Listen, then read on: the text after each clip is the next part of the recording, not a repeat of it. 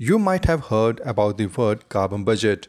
If not, then allow me to explain. If we want to limit the rise of average global temperature to 1.5 degrees, we can only emit a limited amount of CO2 that is carbon dioxide. This is carbon budget. Countries are trying to cut their carbon emission with the same budgeting techniques that households use to control their spendings. Instead of balancing income against outgoings, environmental planners are doing it with carbon dioxide emissions that cause global warming. This is carbon budgeting. We know that greenhouse gas emissions caused by human activities, from energy to transportation, industry to farming, are speeding up global warming at a rate that threatens our planet's natural balance as we have known it to be. But when exactly will we cross the line? The European Union and US have promised to reach carbon neutrality by 2050 and China by 2060. But while we wait for this historical transition to take place, how much CO2 can we still emit into the atmosphere without unalterably compromising our future climate? To answer all these questions, experts have devised an ad hoc indicator known as carbon budget. What does carbon budget mean?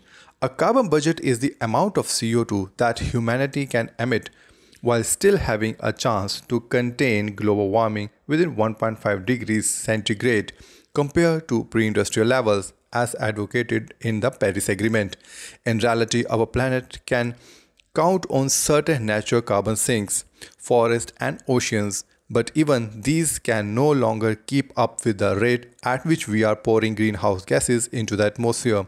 Specifically, according to the data from the Global Carbon Project, in the decade between 2010 and 2019, terrestrial ecosystem absorbed 12.5 gigatons of CO2 per year and oceans absorb 9.2 gigatons only. Now the question is how do carbon budgets work?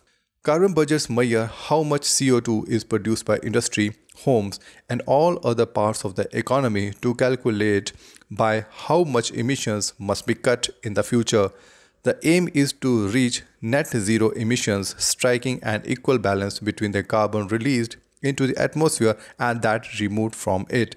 But with carbon building up quickly, countries are having to redraw their budgets more often than hoped.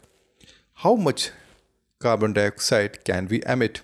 Scientists have made different calculations to work how much a carbon budget humanity still has at its disposal. The Intergovernmental Panel on Climate Change stated that at the end of 2017, let's say, we had a budget of not more than 420 gigatons of CO2 if we want to stay within 1.5 degrees of warming, that is 42 gigatons per year.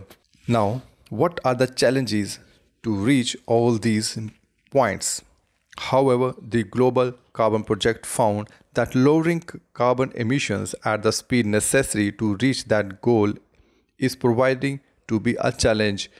In its most current report, Mitigation of Climate Change, the United Nations Intergovernmental Panel on Climate Change said that there is an urgent need to quicken the pace of decarbonization.